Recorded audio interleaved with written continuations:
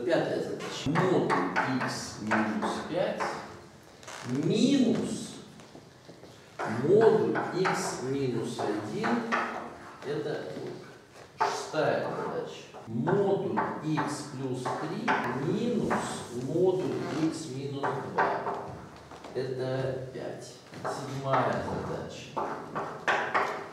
Модуль x минус 1 это 2 умножить на модуль x минус 4. Теперь начались неравенства. Модуль x плюс 1 больше 1.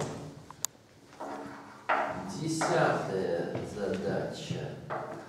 2 меньше или равно модуль x меньше, чем 3.